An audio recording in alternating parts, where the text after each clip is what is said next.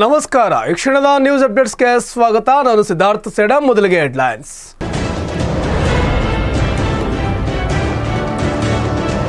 ಮನೆ ಮುಂದೆ ಆಟವಾಡ್ತಿದ್ದ ಎಂಟು ವರ್ಷದ ಬಾಲಕಿಯ ಕಿಡ್ನಾಪ್. ಮನೆ ಹತ್ತಿರದ ಬಾವಿಯೊಂದರಲ್ಲಿ ಕೈಕಾಲು ಕಟ್ಟಿ ಎಸೆದ ಸ್ಥಿತಿಯಲ್ಲಿ ಶವ ಪತ್ತೆ. ಬೆಳಗಾವಿ ಜಿಲ್ಲೆಯ ರಾಯಬಾಗ ತಾಲೂಕಿನ ಪರಮಾನಂದವಾಡಿ ಗ್ರಾಮದಲ್ಲಿ ಘಟನೆ.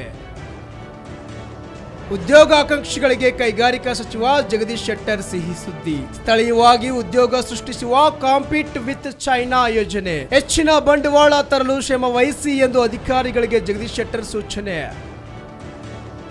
ನಮಗೆ ಕೇಂದ್ರ ಸರ್ಕಾರದ ಮೇಲೆ ಸಂಪೂರ್ಣ ನಂಬಿಕೆ ಇದೆ. ಮತ್ತು ಕೇಂದ್ರ ಸರ್ಕಾರದಿಂದ ನೆರೆ ಸಂತ್ರಸ್ತರಿಗೆ ಈಗಾಗಲೇ ಮಧ್ಯಮ ಹಣ ಒಂದು ಸಾವಿರದ ಎರಡೂರು ಕೋಟಿ ಬಿಡುಗಡೆಯಾಗಿದೆ. ಇನ್ನು ಹೆಚ್ಚಿಗೆ ಹಣ ಬಿಡುಗಡೆಯಾಗುವ ಸಾಧ್ಯತೆ ಡಿಸಿಎಂ ಗೋವಿಂದ್ ಕಾರಜೋಳ್ ಹೇಳಿಕೆ.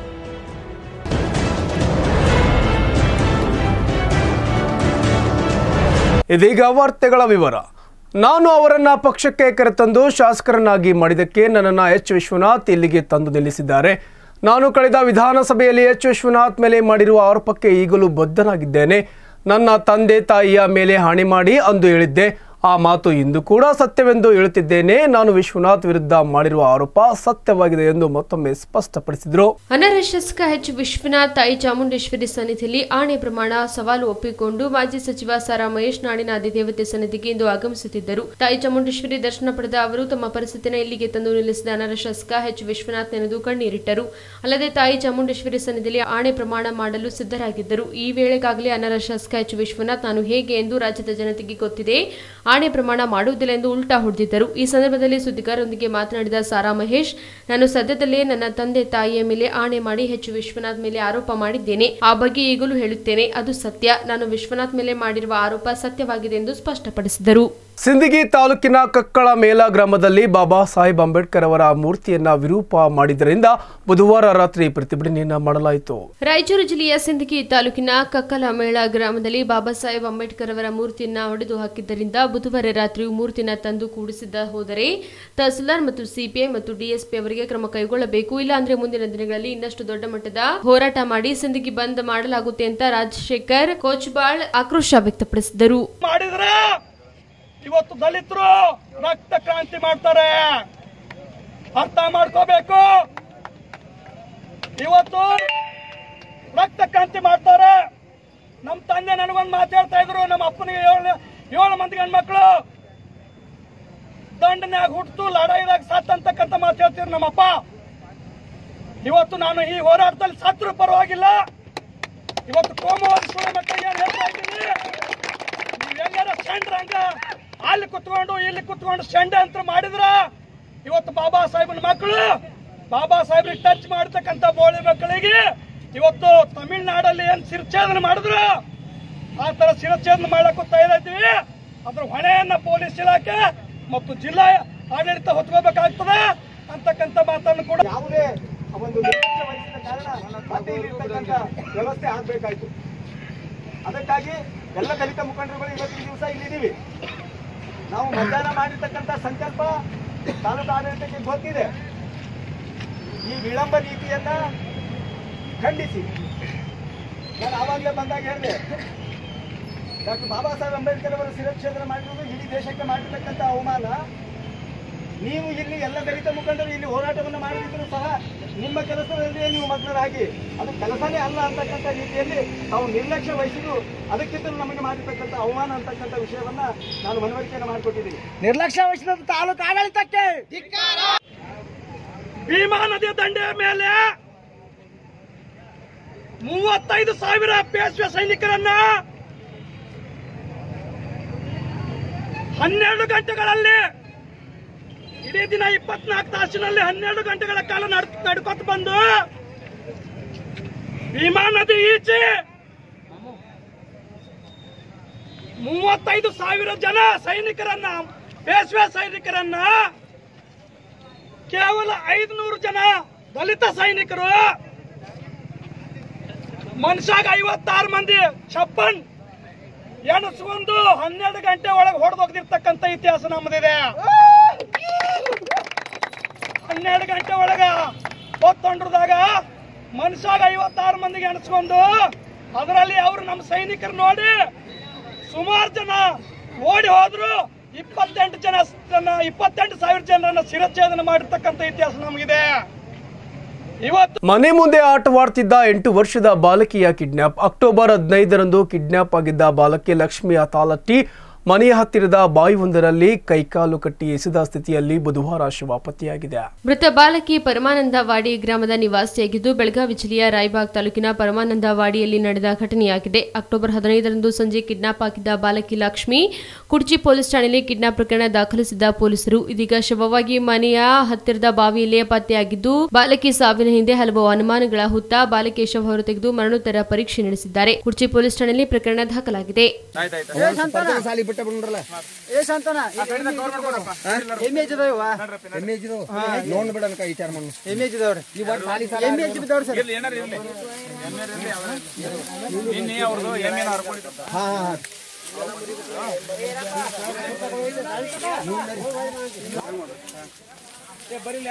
ಇದು ಹಾದ್ರ ಒಳಗ ಏನ ಈ ಕಡೆ ಹೋಗಿಲ್ಲ ಹೋದ್ರವ್ರು ಹೋಗ್ಯಾರ ಆ ಕಡೆ ಹೋಗ್ಬೇಡ್ರಿ ಹೋಗ್ಮರ ಈ ಕಡೆ ಬರ್ರಿ ಎಮ್ಮೆ ಹಾಕೊಂಡು ಮನೆ ಹರ್ಕೊಂಡು ಯಾರದು ಮನೆ ಹರ್ಕೊಂಡಿರ್ತಾರೆ ನಿನ್ನೆ ಚೆಕ್ ಮಾಡಿರ್ತಾರೆ ಎಮ್ಮೆ ಹೆಚ್ಚಿನ ಅದಾವ್ರಿ ಮತ್ತು ಮತ್ತು ಮನುಷ್ಯರ ಹೆಚ್ಚಿನ ಅದಾವ ಎರಡು ಅದಾವ ಅದೇ ಅವ್ರು ಬೆಣ್ಣ ಹೋಗಿದ್ದ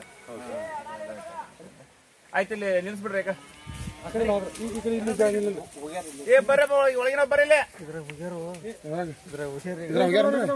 ಏ ಬರ್ರಿಪ್ಪ ಸಾವಿರ ಸಲ ಹೋಗ್ರು ಬರ್ಪ ಎರಡು ಬರ್ರಿ ಇನ್ನೊಂದು ಅರ್ಧ ಗಂಟೆ ಆಗತ್ತೆ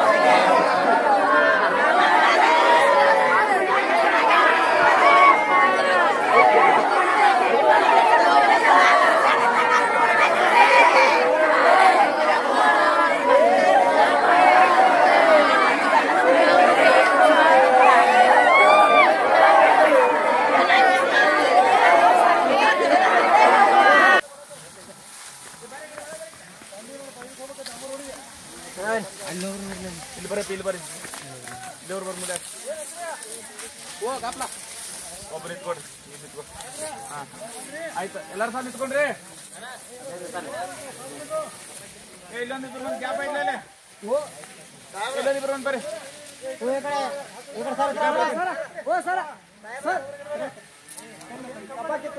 ಹಾ ಅದಕ್ಕೆ ಇಲ್ಲಿ ಮೂರು ಇಲ್ಲಿ ಮನುಷ್ಯರು ನೋಡ್ರಿ ಸಾಹೇಬ್ರು ಮತ್ತೆ.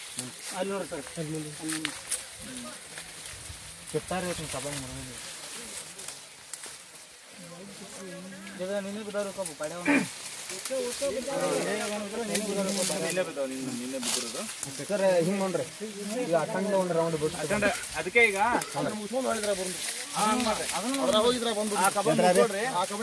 ಮಂದಿನ ಆತ್ರಿ ಇತ್ತ? ಅಡಾಲ್ ಮಂದಿನ ಆತ್ರಿ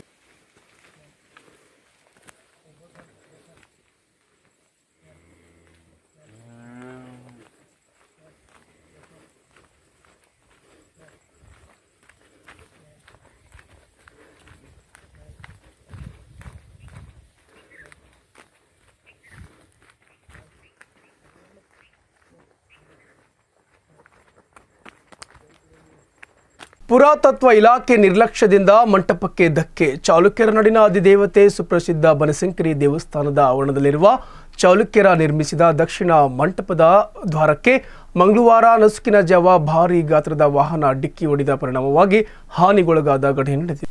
ಮಹಾರಾಷ್ಟ್ರ ಮೂಲದ ಖಾಸಗಿ ವ್ಯಕ್ತಿಯೊಬ್ಬರ ಭಾರಿ ಗಾತ್ರದ ವಾಹನ ಬೆಳಗಿನ ಜಾವದ ಗದಗ್ ಮಾರ್ಗದಿಂದ ಬಾದಾಮಿ ಮಾರ್ಗವಾಗಿ ಬರುತ್ತಿದ್ದ ಸಂದರ್ಭದಲ್ಲಿ ಅವಘಡ ಸಂಭವಿಸಿದ ಮಂಟಪದ ಕ್ಷೀಣ ದಕ್ಷಿಣ ಪ್ರವೇಶ ದ್ವಾರಕ್ಕೆ ಕಂಬವು ಜಖಂಗೊಂಡಿದೆ ಭಾರಿ ವಾಹನ ಸಂಚಾರಕ್ಕಿಲ್ಲ, ಅದೇ ತರ ಈ ಹಿಂದೆ ಇಂತಹ ಅವಘಡಗಳು ಸಂಭವಿಸಿದ್ದರಿಂದ ಈ ಮಾರ್ಗದಲ್ಲಿ ಭಾರಿ ವಾಹನಗಳ ನಿಷೇಧವನ್ನ ಮಾಡಿದ್ದರು. ವಿಜಯಪುರ ಜಿಲ್ಲೆಯ ಬೊಂಬತ್ತಿ ವಸ್ತಿ ಗ್ರಾಮದ ಜನರ ಹಾಗೂ ಮಕ್ಕಳ ಗೋಳು ಕೇಳೋರು ಯಾರು ಇಲ್ಲ. ಮಕ್ಕಳ ಶಿಕ್ಷಣಕ್ಕೆ ಹಾಗೂ ಜನಜೀವನಕ್ಕೆ ಈ ಹಳ್ಳ ಅಡ್ಡಿಯಾಗಿದೆ. ಮಳೆಗಾಲ ಬಂತಂದ್ರೆ ಇಲ್ಲಿನ ಜನ ಹೊಲ ಗದ್ದೆಗಳಿಂದ ಈ ಗ್ರಾಮಕ್ಕೆ ಬಂದು ಹಳ್ಳ ದಾಟಲು ಪರದಾಡುವ ಪರಿಸ್ಥಿತಿ ನಿರ್ಮಾಣವಾಗಿದೆ. ವಿಜಯಪುರ ಜಿಲ್ಲೆಯ ಚಡಚಣ ತಾಲೂಕಿನ ಶಿರಾಡೋಣ ಗ್ರಾಮದ ಹುಲಜಂತಿ ರಸ್ತೆಯಲ್ಲಿರುವ ಬೊಂಬತ್ತಿ ಹಳ್ಳ ದಾಟಲು ಪರದಾಡುತ್ತಿರುವ ಜನರು ಹಲವು ವರ್ಷಗಳಿಂದ ಮಳೆಗಾಲ ಬಂತೆಂದರೆ ಇಲ್ಲಿನ ಜನ ಹೊಲ ಗದ್ದೆಗಳಿಂದ ಗ್ರಾಮಕ್ಕೆ ಬರಲು ಪರದಾಡುತ್ತಿದ್ದಾರೆ. ಅಲ್ಲದೆ ಶಾಲಾ ಕಾಲೇಜುಗಳಿಗೆ ತೆರಳಬೇಕಾದರೂ ಹಳ್ಳ ದಾಟಿ ಮರಳಿ ಬರುವುದನ್ನ ಕಾಯುತ್ತಾ ಕುಳಿತುಕೊಳ್ಳಲು ಮತ್ತು ಜೀವ ಭಯದಲ್ಲಿ ಜನ ತಿರುಗಾಡುತ್ತಿದ್ದು, ನಮ್ಮ ಜನಪ್ರತಿನಿಧಿಗಳು ಇತ್ತ ಗಮನ ಹರಿಸದೆ ನಾವು ಕಷ್ಟಪಡುವಂತಾಗಿದೆ ಎಂದು ಗ್ರಾಮಸ್ಥರು ಆರೋಪಿಸಿದ್ದಾರೆ. ಈ ಹಿಂದೆಯೂ ಕೂಡ ದಸೂರ್ ಗ್ರಾಮದ ನಲವತ್ತಕ್ಕೂ ಹೆಚ್ಚು ಮಕ್ಕಳು ರಸ್ತೆ ಸರಿಯಿಲ್ಲದಕ್ಕಾಗಿ ಮರಾಠಿ ಶಿಕ್ಷಣ ಪಡೆಯುತ್ತಿರುವುದನ್ನು ಈ ಹಿಂದೆ ನೋಡಿದ್ದೇವೆ.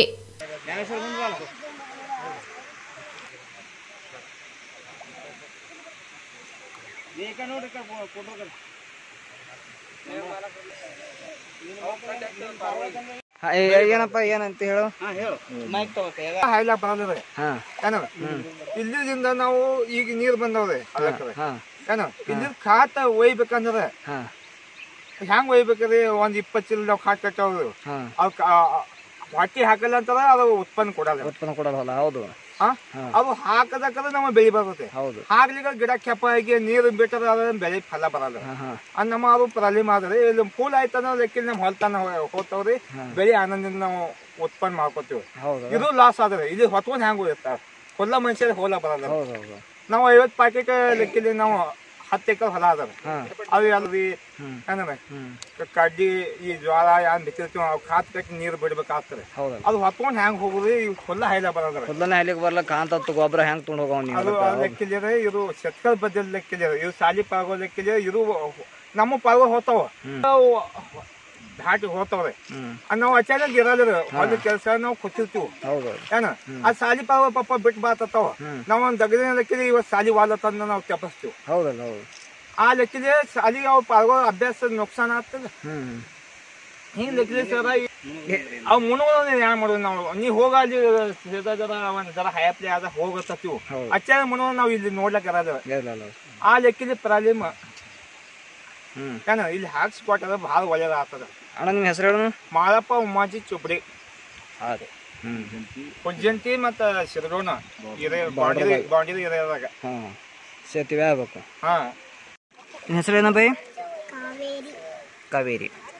ಕಾವೇರಿ. ಇದು ಹಳ್ಳ ಬಂದಾಗ ನೀವು ಶಾಲೆಗೆ ಹೋಗೋದು ಬರೋದು ತೊಂದರೆ ಆಗ್ತದಲ್ಲವ ಅದ್ರ ಬಗ್ಗೆ ಏನು ಹೇಳ್ತೇವೆ ನೀ? ಫುಲ್ ಕಟ್ಟಬೇಕು ಸೇತುವೆ ಕಟ್ಟದ್ರಿಂದ ಹೋಲಕ್ಕೆ ಬರ್ಲಕ್ಕೆ ಅನುಕೂಲ ಆಗ್ತದೆ. ಹಾಂ? ಮತ್ತು ನೀವು ದಿನಾಲು ಒಬ್ಬೊಬ್ರು ಇಬ್ಬಿಬ್ರೆ ಹೋಗಿ ಬರ್ತಿರಲ್ಲ ಶಾಲೆಗೆ ನಿಮಗೇನು ಭಯ ಅನ್ಸಲ್ಲ ಈ ಹಾದಿ ಹಯಾಕ? ಅಂಜಿಕೆ ಬರಲ್ಲ? ಭಯ ಬರ್ತದೆ, ಅಂಜಿಕೆ ಬರ್ತದೆ ನಿಮಗೆ? ಒಬ್ಬೊಬ್ರು ಹೋಗ್ಬೇಕು ಅಂಜಿಕೆ ಬರ್ತದೆ, ನೀರು ಇದ್ದಾಗ ಹೋಗ್ಲಿಕ್ಕೆ ಬರಲ್ಲ. ಅವಾಗ ಏನು ಮಾಡ್ತಿರೋ, ನೀರು ಬಂದಾಗ? ಶಾಲೆಗೆ ಹೋಗ್ತಿರೋ, ಇಲ್ಲೇ ಇರ್ತಿರೋ? ಶಾಲೆ ಸರ್, ನೀವು ಒಬ್ಬ ಗ್ರಾಮ ಪಂಚಾಯತಿ ಸದಸ್ಯರಾಗಿ, ನಿಮ್ಮೂರಲ್ಲಿರ್ತಕ್ಕಂಥ ಈ ಶಾಲಾ ಮಕ್ಕಳಿಗೆ ಅನುಕೂಲ ಆಗೋ ಸಲುವಾಗಿ ಹಲವಾರು ಬಾರಿ ನೀವು ಪತ್ರಿಕೆಗಳಲ್ಲಿ ಸ್ಟೇಟ್ಮೆಂಟ್ ಕೂಡ ಕೊಟ್ಟಿದ್ದೀರಿ.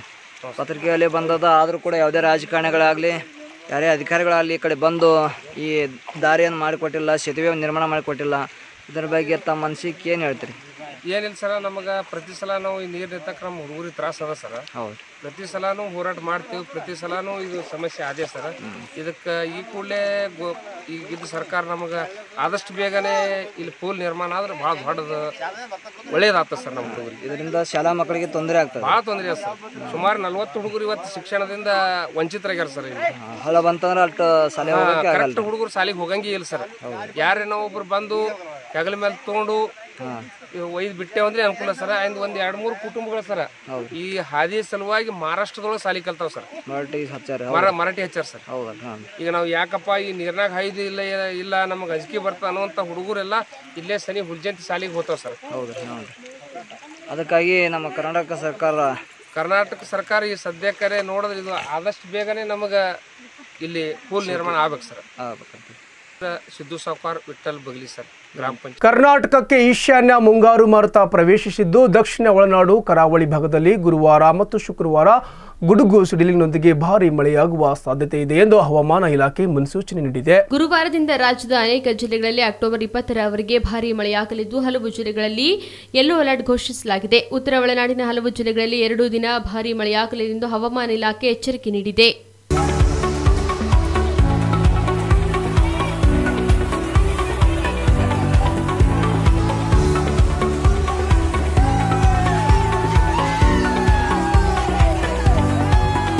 ವಿವಾದಕ್ಕೆ ಕಾರಣವಾಗಿದೆ. ಬೆಂಗಳೂರು ಪೊಲೀಸ್ ಕಮಿಷನರ್ ನಡೆದುಕೊಂಡಿರುವ ರೀತಿ. ಅರೆ, ಅದು ಏನು ಅಂತೀರಾ? ಈ ಸುದ್ದಿ ನೋಡಿ. ಯಶಸ್ವಿನಿ ಬೆಂಗಳೂರು ಪೊಲೀಸ್ ಕಮಿಷನರ್ ಭಾಸ್ಕರ್ ರಾವ್ಗೆ ಸನ್ಮಾನ ಮಾಡಿರೋದು ಈಗ ವಿವಾದಕ್ಕೆ ಕಾರಣವಾಗಿದೆ. ಶ್ರೀರಾಮ ಸೇನೆಯ ಮುತಾಲಿಕ್ ಜೊತೆ ನಿಂತು ಭಾಸ್ಕರ್ ರಾವ್ ಅವರಿಗೆ ಶಾಲು ಹೊದಿಸಿ ಗಂಧದ ಹಾರ ಹಾಕಿದ್ದಾರೆ. ಯಶಸ್ವಿನಿ ಮತ್ತು ಈಕೆಯ ಪತಿ ದಡಿಯಾ ಮಹೇಶ್ ಅವರ ಸನ್ಮಾನವನ್ನ ಭಾಸ್ಕರ್ ರಾವ್ ಸ್ವೀಕರಿಸಿದ್ದಾರೆ. ಸದ್ಯ ಶ್ರೀರಾಮ ಸೇನೆಯಲ್ಲಿ ಗುರುತಿಸಿಕೊಂಡಿರುವ ಯಶಸ್ವಿನಿ ಈಗ ಕಮಿಷನರ್ಗೆ ಸನ್ಮಾನ ಮಾಡಿದ ಫೋಟೋಗಳು ವೈರಲ್ ಆಗ್ತಿವೆ. ರೌಡಿಗಳಿಂದ ಸನ್ಮಾನ ಮಾಡಿಸಿಕೊಂಡ ಕಮಿಷನರ್ ಭಾಸ್ಕರ್ ರಾವ್ ನಡಿಗೆ ಆಕ್ರೋಶ ವ್ಯಕ್ತವಾಗಿದೆ. ನಿರುದ್ಯೋಗಿಗಳಿಗೆ ಸಿಹಿ ಸುದ್ದಿ ನೀಡಿದ ಕೈಗಾರಿಕಾ ಸಚಿವ ಜಗದೀಶ್ ಶೆಟ್ಟರ್, ಅದು ಏನು ಸುದ್ದಿ ಅಂತೀರಾ? ಈ ನ್ಯೂಸ್ ನೋಡಿ. ಉದ್ಯೋಗಾಕಾಂಕ್ಷಿಗಳಿಗೆ ಕೈಗಾರಿಕಾ ಸಚಿವ ಜಗದೀಶ್ ಶೆಟ್ಟರ್ ಸಿಹಿ ಸುದ್ದಿ ಒಂದು ನೀಡಿದ್ದು ಸ್ಥಳೀಯವಾಗಿ ಉದ್ಯೋಗ ಸೃಷ್ಟಿಸುವ ಕಾಂಪಿಟ್ ವಿತ್ ಚೈನಾ ಯೋಜನೆಯಡಿ ಗುರುತಿಸಲಾದ ಜಿಲ್ಲೆಗಳಿಗೆ ಹೆಚ್ಚಿನ ಬಂಡವಾಳ ತರಲು ಶ್ರಮವಹಿಸಿ ಎಂದು ಅಧಿಕಾರಿಗಳಿಗೆ ಜಗದೀಶ್ ಶೆಟ್ಟರ್ ಸೂಚನೆ ನೀಡಿದ್ದಾರೆ. ಪ್ರಗತಿ ಪರಿಶೀಲನಾ ಸಭೆಯಲ್ಲಿ ಮಾತನಾಡಿದ ಶೆಟ್ಟರ್, ರಾಜ್ಯದಲ್ಲಿ ಕೈಗಾರಿಕೆಗಳ ಸ್ಥಾಪನೆ ಮತ್ತು ಬೆಳವಣಿಗೆಗೆ ಅಗತ್ಯ ಕಾರ್ಯಕ್ರಮಗಳನ್ನು ರೂಪಿಸಬೇಕಾಗಿದೆ. ಈ ಕ್ಲಸ್ಟರ್ ಆಧಾರಿತ ಯೋಜನೆಗೆ ಹೆಚ್ಚು ಬಂಡವಾಳ ಬರುವುದರಿಂದ ಉದ್ಯೋಗ ಸೃಷ್ಟಿ ಮತ್ತು ರಾಜ್ಯದ ಅಭಿವೃದ್ಧಿಗೆ ಬಲ ಸಿಗಲಿದೆ ಎಂದಿದ್ದಾರೆ. ಸಾರ್ವಜನಿಕ ವಲಯದ ಬ್ಯಾಂಕುಗಳ ಮೆಗಾ ವಿಲೀನ ಸೇರಿದಂತೆ ಹಲವಾರು ವಿಷಯಗಳ ಬಗ್ಗೆ ಮುಷ್ಕರಕ್ಕೆ ಬ್ಯಾಂಕ್ ನೌಕರರ ಸಂಘಗಳು ಕರೆ ನೀಡಿರುವುದರಿಂದ ಮುಂದಿನ ಮಂಗಳವಾರ ಬ್ಯಾಂಕಿಂಗ್ ಕಾರ್ಯಾಚರಣೆಗೆ ಧಕ್ಕೆಯಾಗಬಹುದು ಎನ್ನಲಾಗಿದೆ. ಅಕ್ಟೋಬರ್ ಇಪ್ಪತ್ತೆರಡರಂದು ಟ್ರೇಡ್ ಯೂನಿಯನ್ ಸಂಸ್ಥೆಗಳು ಸ್ಥಾಪಿಸಿದ್ದ ಮುಷ್ಕರದಿಂದಾಗಿ ತನ್ನ ಬ್ಯಾಂಕ್ ಕಾರ್ಯಾಚರಣೆಗಳು ಕೆಟ್ಟ ಪರಿಣಾಮ ಬೀರಬಹುದೆಂದು ಬರೋಡಾದ ಅಂಕ ಈಗಾಗಲೇ ಎಚ್ಚರಿಸಿದೆ. ಅದೇಗೂ ಬ್ಯಾಂಕ್ ಶಾಖೆಗಳಲ್ಲಿ ಸುಗಮವಾಗಿ ಕಾರ್ಯನಿರ್ವಹಿಸಲು ಅಗತ್ಯವಿರುವ ಎಲ್ಲಾ ಕ್ರಮಗಳನ್ನು ತೆಗೆದುಕೊಳ್ಳುವುದಾಗಿ ಬ್ಯಾಂಕ್ ಭರವಸೆ ನೀಡಿದೆ. ಅಖಿಲ ಭಾರತ ಬ್ಯಾಂಕ್ ನೌಕರರ ಸಂಘ ಮತ್ತು ಬ್ಯಾಂಕ್ ನೌಕರರ ಒಕ್ಕೂಟ ಕರೆದಿರುವ ಬ್ಯಾಂಕ್ ಮುಷ್ಕರಕ್ಕೆ ಅಖಿಲ ಭಾರತ ಟ್ರೇಡ್ ಯೂನಿಯನ್ ಕಾಂಗ್ರೆಸ್ನಿಂದ ಬೆಂಬಲ ಸಿಕ್ಕಿದೆ. ಅಖಿಲ ಭಾರತ ಬ್ಯಾಂಕ್ ನೌಕರರ ಸಂಘ ಹಾಗೂ ಬ್ಯಾಂಕ್ ನೌಕರರ ಒಕ್ಕೂಟ ಜಂಟಿಯಾಗಿ ಅಕ್ಟೋಬರ್ ಇಪ್ಪತ್ತೆರಡರಂದು ಅಖಿಲ ಭಾರತ ಬ್ಯಾಂಕ್ ಮುಷ್ಕರಕ್ಕೆ ಕರೆ ನೀಡಿರುವುದನ್ನು ನಾವು ಗಮನಿಸಿದ್ದು ಇತ್ತೀಚೆಗೆ ಹತ್ತು ಸಾರ್ವಜನಿಕ ವಲಯದ ಬ್ಯಾಂಕುಗಳನ್ನು ನಾಲ್ಕು ಬ್ಯಾಂಕುಗಳಾಗಿ ವಿಲೀನಗೊಳಿಸುವ ಸರ್ಕಾರದ ನಿರ್ಧಾರವನ್ನು ಖಂಡಿಸುತ್ತೇವೆ ಎಂದು ಎಐಟಿಯುಸಿಯು ತನ್ನ ಹೇಳಿಕೆಯಲ್ಲಿ ತಿಳಿಸಿದೆ ಅಕ್ಟೋಬರ್ ಹದಿನೇಳರಂದು ದೆಹಲಿಯ ಆಡಳಿತ ಮತ್ತು ಅಭಿವೃದ್ಧಿಯ ಬಗ್ಗೆ ಮಧ್ಯಸ್ಥಗಾರರ ಚರ್ಚೆಯ ಸಂದರ್ಭದಲ್ಲಿ ದೆಹಲಿ ಕಿ ಸೋಚ್ ಮುಖ್ಯಮಂತ್ರಿ ಅರವಿಂದ್ ಕೇಜ್ರಿವಾಲ್ ದೆಹಲಿಯ ಸಂಚಾರ ಪರಿಸ್ಥಿತಿಯನ್ನ ಸುಧಾರಿಸಬಹುದು ಎನ್ನಲಾಗಿದೆ सबसे ज्यादा ट्रैफिक है तो वो बॉटलनेक्स हो गए हैं जैसे दिल्ली की सड़कों दिल्ली की सड़कें बहुत चौड़ी हैं आप किसी भी यूरोपियन कंट्री में या वेस्टर्न कंट्री में चले जाइए, उनकी सड़कों से ज़्यादा चौड़ी दिल्ली की सड़कें आपको मिलेंगी। दिक्कत ये हो गई है कि हमारी चार लेन की सड़क अचानक थोड़ी सी आगे जाके तीन लेन में कन्वर्ट हो जाती है। फिर थोड़ी सी आगे जाके फिर छः लेन बन जाती है। This is not a good design ये बॉटलनेक्स क्रिएट कर देता है। अगर वो सड़क चार लेन की बजाय थ्री लेन ही रहे और थ्रू आउट थ्री लेन रहे तो वो नॉर्मल ट्रैफिक चलता रहता है और बड़ी तेजी से चलता रहता है इन सड़कों को रीडिजाइन करने की जरूरत है बहुत सारे ऐसे पॉइंट्स हैं जहाँ पे अगर माइनर माइनर चेंजेस कर दिए जाएं तो वो ट्रैफिक के जो ಜಾರ್ಖಂಡ್ನ ಮುಖ್ಯಮಂತ್ರಿ ರಘುಬರ್ ದಾಸ್ ಅಕ್ಟೋಬರ್ ಹದಿನಾರರಂದು ಜಾರ್ಖಂಡ್ನ ಮೂವತ್ತು ಲಕ್ಷ ಮನೆಗಳಿಗೆ ತಮ್ಮ ಸರ್ಕಾರ ವಿದ್ಯುತ್ ಒದಗಿಸಿದೆ ಎಂದು ಹೇಳಿದ್ದಾರೆ ಎರಡ್ ಸಾವಿರದ ಹದಿನಾಲ್ಕರಲ್ಲಿ ಜಾರ್ಖಂಡ್ನಲ್ಲಿ ಅರವತ್ತೆಂಟು ಲಕ್ಷ ಕುಟುಂಬಗಳು ವಾಸಿಸುತ್ತಿದ್ದವು. ಅದರಲ್ಲಿ ಕೇವಲ ಮೂವತ್ತೆಂಟು ಲಕ್ಷ ಕುಟುಂಬಗಳು ಮಾತ್ರ ವಿದ್ಯುತ್ ತಂತಿಗಳಿಂದ ಹೆಚ್ಚಿನ ದರ ಹೊಂದಿದ್ದವು. ನಮ್ಮ ಸರ್ಕಾರ ಅಧಿಕಾರಕ್ಕೆ ಬಂದ ನಾಲ್ಕೂವರೆ ವರ್ಷಗಳಲ್ಲಿ ನಾವು ಮೂವತ್ತು ಲಕ್ಷ ಮನೆಗಳಿಗೆ ವಿದ್ಯುತ್ ಒದಗಿಸಿದ್ದೇವೆ. ಚಿರ್ಕುಂಡ್ನಲ್ಲಿ ನಡೆದ ಸಾರ್ವಜನಿಕ ಸಭೆಯನ್ನು ಉದ್ದೇಶಿಸಿ ಸಿಎಂ ಹೇಳಿಕೆ ನೀಡಿದ್ದಾರೆ.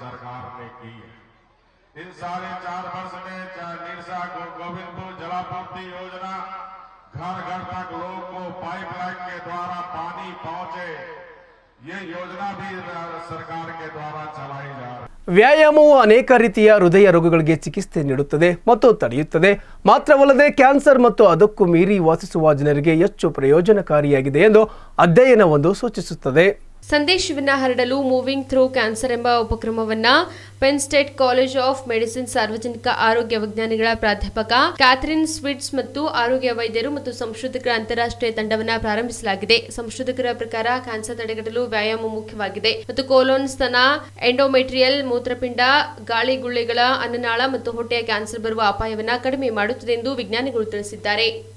ಈಗ ರೋಬೋಟ್ ಆದೇಶಗಳನ್ನು ತೆಗೆದುಕೊಳ್ಳುತ್ತದೆ ಮತ್ತು ಒಡಿಶಾದ ಭುವನೇಶ್ವರದಲ್ಲಿರುವ ಸ್ಮಾರ್ಟ್ ರೆಸ್ಟೋರೆಂಟ್ನಲ್ಲಿ ಮಾಣಿಗಳ ಬದಲಿಗೆ ಆಹಾರವನ್ನು ನೀಡಲಿದೆ. ಇದು ಪೂರ್ವ ಭಾರತದ ಮೊದಲ ರೆಸ್ಟೋರೆಂಟ್ ಎಂದು ಹೇಳಲಾಗುತ್ತಿದೆ. ಸ್ಥಳೀಯವಾಗಿ ಅಭಿವೃದ್ಧಿಪಡಿಸಿದ ಎರಡು ರೋಬೋಟ್ಗಳಾದ ಚಂಪಾ ಮತ್ತು ಚಮೇಲಿ ಗ್ರಾಹಕರಿಗೆ ಆಹಾರವನ್ನು ಪೂರೈಸುವಲ್ಲಿ ನಿರಂತರ ಆಗಿದ್ದಾರೆ ಅವರು ಗ್ರಾಹಕರನ್ನ ಸ್ವಾಗತಿಸಲು ಮತ್ತು ಅವರಿಗೆ ಶುಭ ಹಾರೈಸಲು ಧ್ವನಿಚಾಲಿತ ವ್ಯವಸ್ಥೆಯನ್ನು ಹೊಂದಿದ್ದಾರೆ.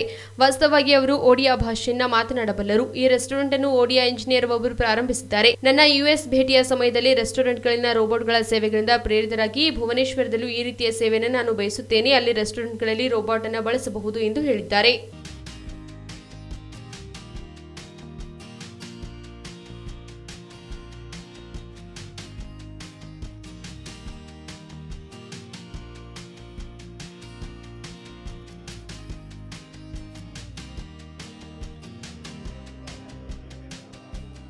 ಮಹದಾಯಿ ಕೃಷ್ಣಾ ನೀರಿನ ವಿವಾದಗಳು ಆದಷ್ಟು ಬೇಗನೆ ಇತ್ಯರ್ಥವಾಗಲಿದೆ ಎಂದು ಕಲಬುರಗಿಯಲ್ಲಿ ಜಿಲ್ಲಾ ಉಸ್ತುವಾರಿ ಸಚಿವರಾದ ಗೋವಿಂದ್ ಕಾರಜೋಳ್ ಸುದ್ದಿಗೋಷ್ಠಿಯಲ್ಲಿ ತಿಳಿಸಿದ್ದಾರೆ. ಕಲಬುರಗಿ ಜಿಲ್ಲೆಯ ಅತಿಥಿ ಗೃಹದಲ್ಲಿ ಹಮ್ಮಿಕೊಂಡಿದ್ದ ಸುದ್ದಿಗೋಷ್ಠಿಯಲ್ಲಿ ಮಾತನಾಡಿದ ಅವರು, ಮಹದಾಯಿ ಮತ್ತು ಕೃಷ್ಣಾ ನದಿಗಳ ವಿವಾದಗಳನ್ನ ಶೀಘ್ರದಲ್ಲೇ ಇತ್ಯರ್ಥವಾಗಲಿದೆ. ನಮಗೆ ಕೇಂದ್ರ ಸರ್ಕಾರ ಮೇಲೆ ಸಂಪೂರ್ಣ ನಂಬಿಕೆ ಇದೆ ಮತ್ತು ಕೇಂದ್ರ ಸರ್ಕಾರದಿಂದ ನೆರೆ ಸಂತ್ರಸ್ತರಿಗೆ ಈಗಾಗಲೇ ಮಧ್ಯಮ ಹಣ ಸಾವಿರದ ಇನ್ನೂರು ಕೋಟಿ ಬಿಡುಗಡೆಯಾಗಿದೆ ಇನ್ನು ಹೆಚ್ಚಿನ ಹಣ ಬಿಡುಗಡೆಯಾಗುವ ಸಾಧ್ಯತೆ ಇದೆ ಎಂದು ಸುದ್ದಿಗೋಷ್ಠಿಯಲ್ಲಿ ಕಲಬುರಗಿ ಜಿಲ್ಲಾ ಉಸ್ತುವಾರಿ ಸಚಿವರು ತಿಳಿಸಿದ್ದಾರೆ. ಈ ಸುದ್ದಿಗೋಷ್ಠಿಯಲ್ಲಿ ಶಾಸಕ ದತ್ತಾತ್ರೇಯ ಪಾಟೀಲ್ ರೇವೂರ್ ಮತ್ತು ಶಾಸಕ ಬಸವರಾಜ್ ಮತ್ತಿಮೂಡ್ ಸೇರಿದಂತೆ ಅನೇಕರು ಪಾಲ್ಗೊಂಡಿದ್ದರು.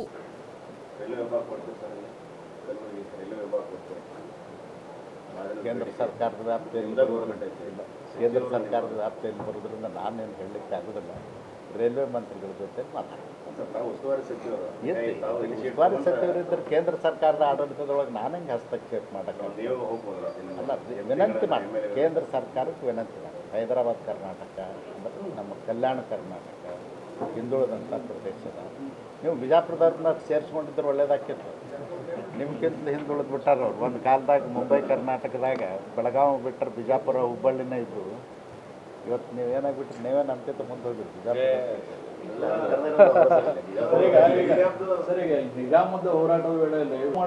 ಈಗ ಶಾಹಿಗಳ ಆಡಳಿತದೊಳಗೆ ಬಿಜಾಪುರ ಇತ್ತು. ಶಾಹಿಗಳ ಆಡಳಿತದಲ್ಲಿ ಕಲಬುರಗಿ ಅಷ್ಟೇ ಅಲ್ಲ ಬಿಜಾಪುರ ಇತ್ತು. ನಿಮ್ಮ ಚೋಟಿನ ತಗೊಂಡಿದ್ರೆ ಚೆನ್ನಾಗಿತ್ತು. ಬಳ್ಳಾರಿ ತಗೊಂಡ್ರಲ್ಲ ತ್ರೀ ಸೆವೆಂಟಿ ಒನ್ ಬಳ್ಳಾರಿ ತಗೊಂಡ್ರಲ್ಲ ಸರ್. ಬಳ್ಳಾರಿ ತಗೊಂಡು ಬಿಜಾಪುರ. ತ್ರೀ ಸೆವೆಂಟಿ ಒನ್ ಏನು ಹಾಕೊಂಡಿರಿ? ಅದ್ರಾಗ ಕವರ್ ಮಾಡಿದ್ರೆ ಚಲೋ ಇತ್ತು. ಅಂದ್ರೆ ಅವರು ಅದನ್ನ ಮೂವ್ ಮಾಡ್ಲಿಕ್ಕೆ ಚಾಲು ಮಾಡ್ತೀರಿ? ಅಂತ ಬಿಜಾಪುರ ಸೇರ್ಸೋದು ಒಂದು ನಡು ಪ್ರಯತ್ನ ನಡೆದೈತೆ ನಿಮ್ಮ ಅಕ್ಕಪಕ್ಕದ ಶಾಸಕರ ವಿರೋಧ ಮಾಡ್ತಾರೆ ಸರ್ ಹಾಗಾಗಿ ಏನಾಗ್ಬಿಟ್ಟದ? ನಾನು ಬೇಸಿಕಲಿ ಬಿಜಾಪುರದ ಇದ್ರೂ ಬಾಗಲಕೋಟೆ ಆಗಿಬಿಟ್ಟಿದ್ದೀನಿ. ಇಪ್ಪತ್ತೈದು ವರ್ಷದಿಂದ. ಹೀಗಾಗಿ ನಾನು ಅದರ ಬಗ್ಗೆ ಜಾಸ್ತಿ ಮಾತಾಡಲಿಕ್ಕೆ ಬಯಸ್ತೀನಿ.